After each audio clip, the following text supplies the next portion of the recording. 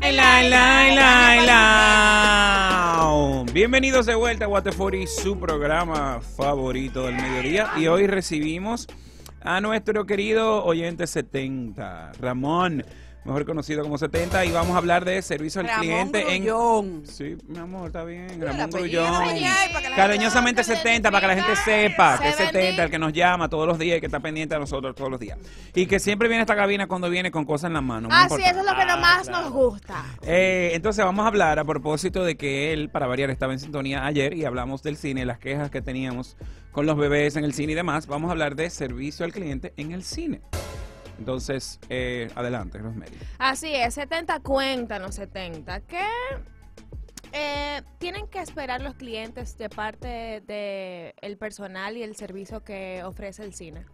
Buenísimo, primero que todo, muchísimas Sí, pero gracias. disculpa, Otra no vez se. No, Es que tú no pones bien. nervioso. No, Contale no, a la gente que tú estás muy buen mozo, con Ay, un traje así. Siempre da así, vino. pepillo. Claro. Me encanta ese pin como de madera. Muy bien. El Y 70% de el 70% de esto es el bulto. Ah, sí. Pero el es bar, importante. bulto allá antimovimiento. Claro. Te iba a decir que, eh, eh, para contar a las personas que están en sintonía, tú has sido luz y has aportado mucho a diferentes temas que tienen que ver con precisamente eso. El tema del servicio al cliente, de cómo usted tratar a alguien que está pagando un servicio, Correcto. cómo dirigirse hacia alguien que viene donde usted con un eh, ya molesto porque ha tratado quizás de diferentes vías de recibir una respuesta de una compañía o de, de una persona inclusive que está ofreciendo un servicio, como dije anteriormente. Y señores, lo crucial que es el servicio al cliente para la eh, permanencia, para la que sea duradero, para la fidelidad de un cliente, La- eso es crucial. La prosperidad de un negocio. ¿no? Claro, entonces, ya que una persona o una empresa invierte en el plantel, en el edificio, eh, en la estética, en el marketing, está muy fuerte que venga una persona a consumir un producto, a ir a un restaurante, a recibir un servicio, eh, o vaya alguien a su casa a darle un servicio de eh, alguna empresa, como mencioné anteriormente, y el trabajo de este dueño eh, eh, que, es un trabajo, me imagino, de año y una inversión, se vaya a pique porque una persona no está preparada eh, eh, con eso que es el trato al cliente. Claro. Y de hecho el servicio al cliente cada vez más está siendo el elemento diferenciador en las empresas, porque para no ver un cine, por ejemplo, hay varias opciones, ¿verdad? Lo que pasa es que la gente va al que más marketing hace y el que paga más publicidad, y el top of mind juega muchísimo. Ahí, bueno, es el primero que me llegó a la cabeza, o que el grupo decide. Por ejemplo, yo sé que si el panda dice voy para el cine, para el cine que el, el cine que el panda quiera y la sala que él quiera. Es eh, así, es lo tal que nos ha enseñado a que el panda es así de democrático. Ay, Eh, Bueno, cuando yo propongo ir al cine, te Es a la sala Claro, tú es al claro. cine que yo Pero ahí donde ir. está la influencia. O sea, si a ti te fue bien en una sala, tú Claro. te vas a llevar a todo el mundo. que- Ah, sí, que para mí es el mejor cine de este país. y tú puedes ir una vez a un lugar, pero si tu experiencia no fue buena, o sea, tú puedes ir por ese top of mind, pero si no te va bien, es probable que tú no vuelvas. De hecho, hay estadística que dice que el 89% de la gente dejó de ir a un sitio, dejó de comprar en una empresa porque simplemente no le gustó cómo lo atendieron. Ajá. O sea, el servicio es un factor decisivo. Tira. Es un Tira factor una bomba. decisivo para, para poder elegir una empresa. Y en el caso, por ejemplo, del cine, la persona que va a un cine espera que si salió de su casa donde tiene una televisión, donde tiene internet, y tiene una Comodidad. plataforma de streaming y donde sabemos que muchísimas páginas web ya te ofrecen las películas que están en el cine hasta que antes que estén en el y cine. no te tiene que cambiar. Ajá, y no te tiene que cambiar, tiene ahí, tiene lo que te quiere comer, La pausa cuando pausa quieras, cuando tú uh, le quieras, da no pa' tienes que bregar con gente que prende el celular en medio de la Ay, ay, ay, película, ay, ay, Ni etcétera. llorando, ni Tirando flash, tirando Entonces, lo mínimo que yo espero son facilidades para comprar boletas, por ejemplo, en el caso de la digitalización de los procesos. Eh, que me, si yo llego, yo pueda obtener mi boleta de manera fácil. El domingo fui a ver Barbie y fue, lo, o sea, compramos la boleta en línea, pero cuando llegamos, el, el counter donde imprimen las boletas no servía. Entonces era, Oh, ajá, ¿y a dónde Dios. recurro ahora? La pantalla no La- servía. No, no servía donde tú vas y retiras las boletas compradas en línea. Ajá, O es sea, que es como una pantalla. Correcto, no te, no te estaba tirando el papelito. Entonces parecía que me daba me había dado mis entradas, pero no me la entregó. Ay, claro. Entonces ahí ahora tengo que hacer la fila que hizo todo el mundo para comprar la boleta, que ahí me digan, no, usted enseña el código QR allá arriba y eso se lo van a resolver. Entonces esos procesos donde desde el inicio, inclusive hasta el mismo tema del parqueo, Ay, sí. eh, las filas que yo vea, el tema para pedir la comida, eh, a veces no hay ni siquiera el sabor de refresco que a ti te gusta. Eso pasa muy Ay, ay, ay, ay, espérate. espérate, Tuvimos una espérate, experiencia Porque los cines parece que tienen acuerdos con las marcas. No, no, no, espérate, espérate. Antes de que tú sigas, para que no se me olvide, Pero lo que me antes pasó... que ese cuento, hay gente que no quiere ir al sitio porque no hay parqueo. Sí. Claro, que no, no, no, totalmente. En el cine tienen la siguiente que no me la, tú me la vas a explicar ahora, a ver si tú le buscas una lógica porque yo no la entiendo. Hay varias cajas, ¿verdad? Si te toca una caja y esa caja no tiene disponible el chocolate que tú estás viendo ahí, en la otra caja, no te lo pueden vender. Sí. Digo, mi amor, ¿cuál es la lógica de eso? No es que esto es lo que me asigna a mí, pero al final es una sola inventario. cafetería, es Sí. una sola, debe de haber un solo inventario. No, no podemos. ¿Tú sabes la ¿Tú sabes lo que eso? Espérate, porque yo me moví porque quería ese chocolate, pero quería una bebida en específico. Me moví de caja. En la caja que yo me moví tenía el chocolate, no la Pero bebida. Rosemary está ahí que no me deja mentir. No, pero que cuánta prueba, ¿eh? ¿Tú puedes creer eso? O sea, ¿cuál es la lógica? Si yo no lo estoy viendo, lógica. porque si tú me lo estás viendo, es que yo me voy a antojar porque lo estoy viendo. No, no, no lo tenemos. Quítalo de ahí entonces. No hay lógica detrás de eso. Eso simplemente se llama complicar la existencia al cliente. Al no cliente y un mal rato. O sea, porque, porque no me lo puedes vender. No, no puedo porque mi caja no lo, ya no lo tengo disponible. Pero la otra sí, o sea, al final es un mismo inventario. Y tú sabes lo grande, eso, señores, acorten los procesos, eso pasa hasta Sí. en la oficina gubernamental, no puede ser que tú, para tú sacar un papel, tú tengas que hacer 28.854 cosas, porque ¿qué va a pasar? El que tiene que venir de un campo a sacar ese papel, va a estar haciendo lo indebido porque no va a querer sacar el papel. Pero es un tema de facilitar. Y aparte nadie analiza los recorridos del cliente. Las empresas no saben todo el trabajo que pasa un cliente. Porque no se detienen a hacer ellos por un momento un cliente Claro. y entender dónde están los fallos. Atención a los detalles Sí. Atención a los también. detalles. Tú sabes que hacen muchos dueños de tiendas, eh, hacen visitas sorpresas. Sí.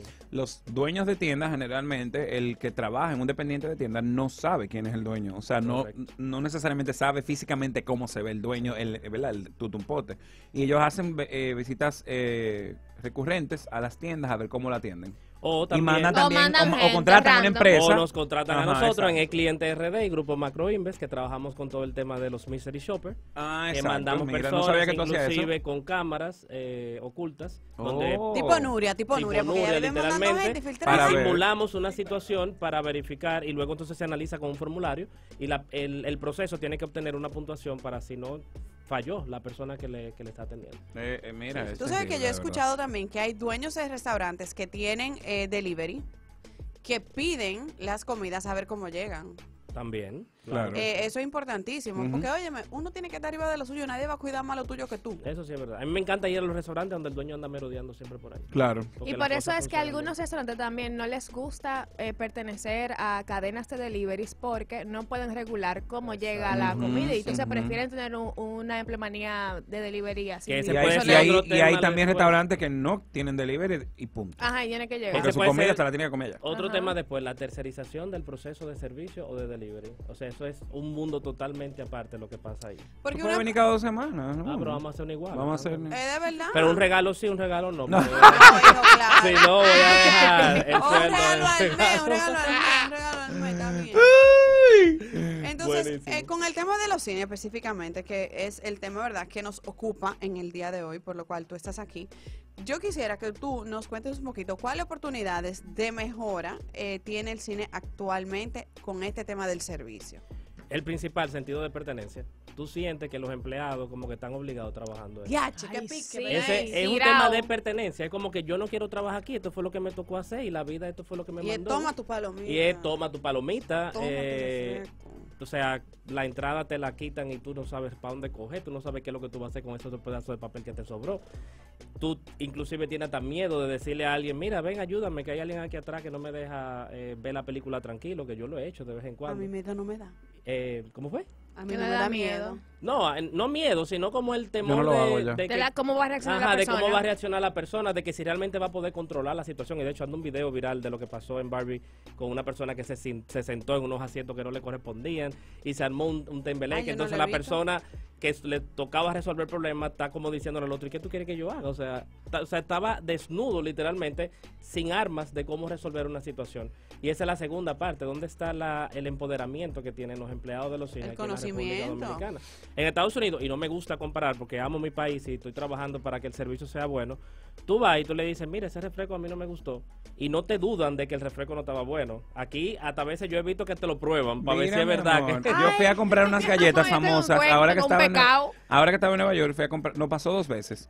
Eh, fui a comprar unas galletas famosas y pedí una, un sabor en específico. una que me no entregaron eran, una que no eran. Y eh, mi amiga fue al counter y le dijo: Mira, me entregaste la que no es. Ah, ok. Le dio la otra y nos quedamos con la que nos dieron mal. Porque en el, en el caso, y perdón, en el caso de Estados Unidos, su filosofía de servicio al cliente es si yo fallo, me cuesta.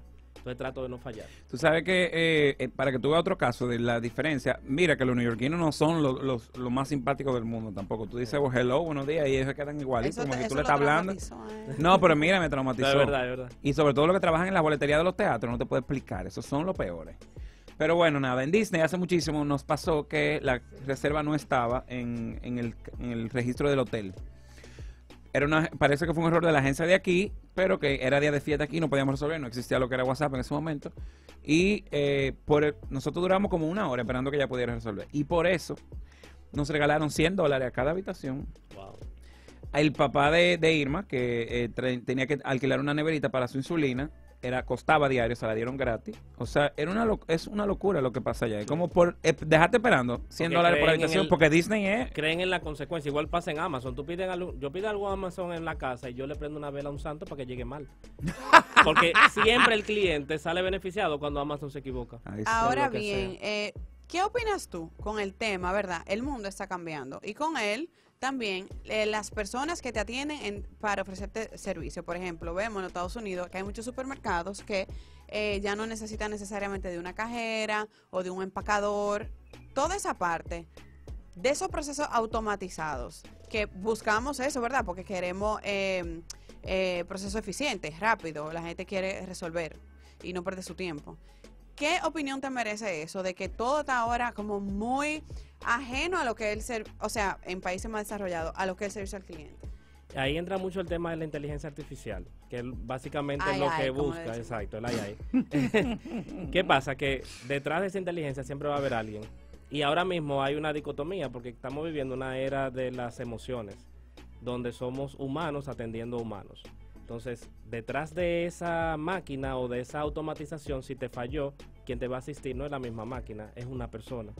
Entonces lo que están haciendo las empresas en Estados Unidos, que no a todo el mundo se despide, por ejemplo a los cajeros y eso, sino que se reubican dentro de, de la nómina haciendo otras funciones, que se quedan entonces con un tema, o sea, si yo automatizo muchas cosas voy a recibir más clientes, porque todo va a fluir a lo mejor mucho más rápido. Entonces las personas se van reubicando.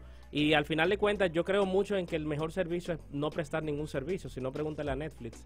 ¿Cuántos de aquí tenemos Netflix? Todos. ¿Y cuántos de aquí hemos llamado alguna vez a Netflix porque algo está no está funcionando? Nadie. Tú ni te sabes el número de Netflix. Tú no sabes la cómo foto a mi hermana que ella es la que contactarlo. está pagando. Pero mira cómo es que funciona. Netflix ha hecho un trabajo tan bueno con no prestar ningún servicio que ellos dicen, si Netflix falla, tú vas a buscar factores externos de lo que está fallando, el internet, que si la tarjeta no funcionó, que si me cambiaron la contraseña. Tú nunca le echas la culpa a Netflix, porque hay una estabilidad detrás del servicio. O sea, pero sí ofrecen un servicio de streaming. Sí, sí, sí, totalmente. Entonces, ¿a qué tú te refieres cuando tú dices no ofrecer ningún servicio per se? que no haya ningún ni- nivel de atención, o sea, que yo no requiera prestarle atención a ningún cliente que me llame, porque las llamadas son mínimas Y eso cuesta. y eso cuesta, correctamente. Entiendo, 70. Eso es un buen punto, mire, ¿verdad? Porque cada vez que, o sea, no pasa mucho, pero cuando sí pasa, tú dices, ellos mismos te hacen el troubleshooting. Sí, Entonces, rápido el ellos mismos se lo pagan al internet automáticamente. Tú mismo dices, no, eso fue el internet que se cayó. Wow. Entonces, eh, ¿dónde nos quejamos en el cine? Cuando tengamos algo. Es un buen punto. Yo nunca he visto como una oficina de, de servicio dentro de los cines aquí en la República Dominicana. Un punto importante. Tú más o menos identificas quién es el supervisor, pero tú empiezas como a, a distinguir que la- el que tiene una camisa diferente Sí. es el supervisor y a veces te le acerca porque me ha pasado y es mejor no acercárseles. Entonces... Hay em, cierta rabia, furia. Sí, hay como una, es por la falta de pertenencia realmente, como que la gente no se siente cómodo con su trabajo y realmente lo que pasa también es, ahí entra mucho, no solamente en los cines, sino a nivel general, las personas, los empleados confunden mucho sus funciones con su trabajo. Entonces tu función Uf, a lo mejor es bien. lo, lo tus funciones es servir la palomita, pero tu trabajo es hacer que ese cliente que te tocó servirle la palomita pase una experiencia increíble. Wow. Desde mi función yo puedo Wow. hacer el trabajo de hacer que ese cine sea el mejor en la República Dominicana. Wow. Pero la gente se concentra solamente en sus funciones y ahí se queda. Y mira, eso pasa también. Es que la gente se pierde, porque a veces yo pienso que eh, no la pobreza, sino la conformidad es mental. Como, como ser básico, es mental. Usted puede estar en una posición de solamente servir palomitas, como lo hemos visto con esta señora, ¿cómo se llama? Eh, ella es Sumaya. Sumaya Mm. Cordero es un ejemplo ella, de ella es superación. un ejemplo de superación de que alguien que hace un trabajo sencillo, con excelencia, puede llegar a un nivel, eh, o sea, exponencial que tú jamás pensarías. Totalmente. Entonces, haga la cosa con amor porque no es un favor. Y eso pasa también en los servicios de gente que te va a tu casa a arreglarte algo. Yo te estoy pagando, tú no me estás haciendo un favor a mí para tú cancelarme tres veces en una semana. Totalmente. Eso no es así. Y hay muchas, por ejemplo, tiendas de ropa, hay una específica, wow, que hay dos o tres que son muy amables, pero los dependientes de la tienda son un callo, usted sabe dónde. Y de hecho hay memes de eso. Sí. De ellos llegando con una actitud Ajá, de, de ajá. superioridad y demás, Sí. que se ha vuelto un cuento de camino y se ha quedado así, porque muchos Aparecen sus, aparecen sus Sí, cuantos que te bus, que te buscan la vuelta, porque señores, hay o no te cosas, hostigan dentro de la hay tienda. cosas, por ejemplo, ahora que está el tema de la página, de esa tienda en específico, que hay mercancía que nada más tienen en la página, pero hay algunas en las tiendas. Pero hay muchos que dicen, no, eso no está aquí. Sí. No, eso no está aquí. Y, apareció buscan. uno que lo buscó y sí Y había una sola, pero o a lo mejor estaba. te busca inclusive en otra tienda. Déjame verificarle si en otra sucursal hay y te llama. Mira, está reservado para usted. O sea, es un tema de buscarle la vuelta al cliente. Hay grandes empresas que tienen eh, esos, eh, que han, que, eh, mi pregunta es, ¿cómo las grandes empresas crean ese se- sentido de pertenencia a sus empleados? Es un tema de motivación. Es un tema inclusive, y yo me voy un poquito más atrás. Es reclutar bien primero. Ah, Y ahí eso Disney lo aplica muchísimo. Yo que tuve la oportunidad de hacer una certificación de servicio basado en Disney, en los parques qué de chulo, Disney. oye, panda, vete Qué para allá. chulo. Ah, Una eso. semana visitando Allá te enseñan hasta señalar con dos dedos, no con uno. Te enseñan inclusive a cómo tú tienes que bajar al nivel de un niño para poder hablarle y no tener que hablarle desde arriba, ajá. porque simula al papá de como Y tú pasaste por, tú trabajaste allá. Tú pasaste no. por, o tú cogiste una Yo capacitación. fue? tomo una Ah, capacitación, te llevan a los parques con unas tareas y tú entras en un modo de observador. Ah, ok, porque los que trabajan allá y hacen pasantías, la gente de hotelería que tenían eh, una universidad, tenía un convenio con ellos, ellos tienen que pasar por todas las posiciones. Correcto. Ellos están en los, en los rides, ellos están en la cocina, ellos están de host, ellos están de server, ellos están de todo. Y, y lo que decía era que Disney tiene tres eh, premisas. Primero, recluta bien. Después, entrena bien. Y después, trata bien. Y eso hace que la gente se sienta que pertenece a un No, lo de Disney es una cosa. No, Trata una cosa bien, increíble. ¿oyeron? Sí, Señora, es- hay personas que nada recluta más bien, están- trata bien, eh, recluta bien, entrena bien y trata bien a las personas y se van a sentir que pertenecen a la empresa. Hay personas contratadas solamente para saludar. Sí. Para cuando tú llegas al parque te saluden con un mani- una manito de Mickey para Ay. despedirte. No, y No todo, toda esa magia está sincronizada. No hay una magia como del mago que saca un conejo dentro de un Claro. sombrero, sino que todo está orquestado. O sea, todos ellos se saben comunicar hasta a nivel visual. Y hay una historia muy bonita de una niña que estaba en una silla de ruedas con su papá y su mamá eh, haciendo una fila para una atracción, porque su inclusividad, incluso, valga la redundancia, es todos vamos a hacer fila. Porque si te doy un paso adelante, te estoy haciendo sentir menos. Y, y ahí mismo se comunican las personas, los cast members, que se llaman así, no se llaman empleados, sino miembros del, del cast. Eh, y luego entonces viene caminando Mickey con Minnie en una silla de ruedas. Ah. Y en ese momento Ay. la niña ve a Minnie en la silla de ruedas y le dice a mamá, mira, Minnie es como yo. Ay, qué Y lindo. ahí hicieron juntos la fila y demás. No, no, no. y, Y, eso eso, es magia. y eso, y esos personajes que hablan en lenguaje de señas. También. Mira, eso es bello. Sí, Y personas y, y princesas que saben tratar con niños con autismo. con autismo y todo eso. O sea, es una locura. O sea, eso es verdad. excelencia en el servicio al cliente. Así Estoy es. súper tocada. Eh, Es entonces, verdad. eh, volviendo al tema de los cines, eh, y que pusimos el ejemplo los otros días de que el pano estaba comentando de que había una niña que estaba gritando mucho en, en- cuando estaban estabas ahí. Barbie. Ah, sí. Tú estabas. Sí. Eh, entonces, al final, ¿cuáles son los deberes de nosotros como clientes y usuarios del cine? Por favor, esa es otra. O sea, los clientes entienden que nada más tienen derecho y no es así. Hay muchos deberes que nosotros como clientes tenemos que cumplir. no Si sé, usted va- cochino, por ejemplo. por favor, si usted va a un cine, usted no llegó. No es verdad, y eso pasa en todos los sitios, en los aviones ni Mira. hablar. O sea, tú te paras y lo, lo- o sea, cada vez que me toca ah, viajar y le digo al pobre fly attendant, lo siento mucho, disculpa en nombre de todos los dominicanos. Gente no con todos los pies, sin, sin sin nada, de uno. Eh, eso, ponga su celular en silencio, bájele el brillo. Si a usted no le gustó la película, sálgase de la sala y no se ponga usted a estar eh, tomando fotos, grabar video en un cine. Con flash. eh, con flash. Gra- Hablando. tomar foto a la pantalla de por Dios, de por. Dios. El dominicano monta otra película en los asientos también. Comienza Ay, a hablar con los actores. Y de hecho, el tema caso. de los niños, o sea, si usted lleva un niño, que usted sabe cómo su niño se comporta, o sea, una de dos, si el niño se está comportando mal, sáquelo de la sala o no lo lleve simplemente. Y de Claro. hecho, deberían de haber salas destinadas solamente a adultos, aunque la película sea para niños. Porque hay adultos que vamos a ver películas de niños. ¿Y hay o sala películas para animadas. hacer eso aquí? No, no la hay. Ahí al revés. Hay Sala de salas niños. específicamente para niños. Que con tiene un juegos, tobogán y una cosa. Tiene tobogán. Que eso y debe ser todo una hecho. tortura. Qué chulo. Tú no ves la película, tú lo que estás atento es que el muchacho no se mate, pero bueno. Sí, porque ahí. también, como usted también tiene que saber dónde puede ir su hijo, usted sabe a lo que usted va.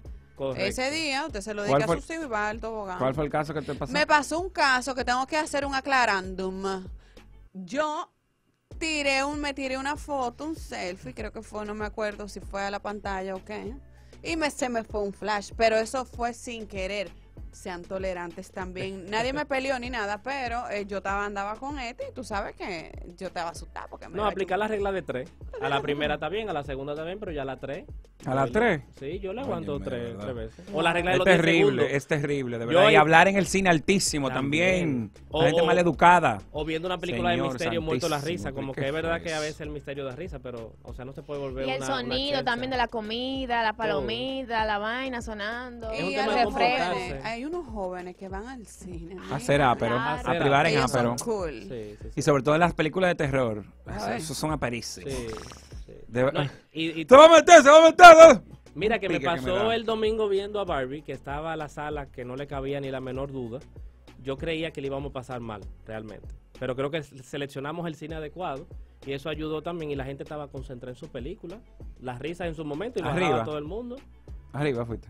Eh, no, donde, en- donde el sol es Ah, ya sé. plateado. son. Ujú. Es como No, eso de es. plata. Sí, Plateado. ese es bien bueno. Eso, Eh, eso es un clavo que tiene la gente. Sí, sí, sí. Sí. Eh, pero de verdad que nos Ah, fue bastante bien porque al final de cuentas es un tema también como de armonía. Porque si empieza uno a, se- a reírse, como que todo como que se va dañando y tú Un pierdes la experiencia. Y ahí no importa si la palomita estaba buena, si el refresco estaba bueno, si me atendieron bien, se me dañó la experiencia, tan simple como es. Pero eso es parte de la responsabilidad de los empleados de ese cine, de ir donde esa persona y decirle, disculpe, puede bajar la voz. Claro. Y también, otra cosa, en este país no se respeta la autoridad. Porque no hay, A sin- no hay veces- consecuencia. A veces esas personas quieren hacer su trabajo. Y por lo mismo de que hay otros que no hacen ese trabajo correctamente, se menosprecia cuando alguien o, o se irrespeta cuando alguien va a poner orden a una situación. O sea que también, aparte del servicio al cliente, es reclutar, educar y tratar bien, como tú bien dijiste, Sí. pero también es educar a todo un país de cómo comportarse en diferentes circunstancias. Valores, eso es lo que nos falta mucho. Tus valores. Así es. valores hacen un mejor Entonces- país. Ramón, ¿dónde pueden encontrar eh, encontrarte en las redes sociales? Eh, me pueden seguir en Experiencia del Cliente RD en Instagram o eCliente RD y ahí pueden ver todos los posts y nuestros contactos para asesorías, cursos y talleres. Me encanta. Muy bien. Mira, vamos a hablar para que tú vengas más a menudo aquí. Sí, Luego pues, los regalos no es eh, necesario. aquí al aire te vamos a preguntar para sentirte No, pero quise obligado. traerles regalos de dos personas, de dos empresas y es lo que trato de hacer para que también conozcan de que aquí tenemos muy buen servicio. Ricordi Souvenirs, que es un sitio donde tú mandas a personalizar cosas. Le Muy mandó un regalo. He, he mandado a hacer cosas Le ahí. mandó un regalo personalizado a, cada uno. eh, ¿Qué? Y también Salao Kitchen le mandó aquí un cielito lindo para que se lo puedan comer. Está calientito, nachos. Así es, Eh, Rosemary, y claro. Ricordi para mí es un sitio que nunca falla para el tema de regalos Ay, personalizados. pesa, pesa. Puedes contactarlo por WhatsApp, te personalizan tu regalo, te lo mandan donde tú estés y de verdad que Hay no pesa, falla. sí, pesa, He- me he gusta. sido usuaria Es de calidad. Puedo dar fe y testimonio de que trabajan muy bien. Bueno, Señores, pues hasta aquí esta entrevista. Gracias Ramón por estar con nosotros, nuestro querido 70. Papá está a otro nivel por todo lo que me enseña, por el tiempo que compartimos juntos y por los momentos que me regala. En este mes de los padres consigue el regalo tan increíble como él en Sirena. Aprovecha las ofertas hasta el 30 de julio en Sirena. Lo que viene por ahí es el Toy Harto. Quédate con nosotros aquí en What the Party. personas que no han, no han bajado para contarlo. Ay, Porque es muy no. extremo. Ay, Pero no, no, no, los acompaña a ustedes eh, un personal o algo que Claro, se o encargue de resolver esas crisis. Pero no hay médicos en ese personal. Bueno, hay, un ejemplo, por lo menos en la Laguna Humantay había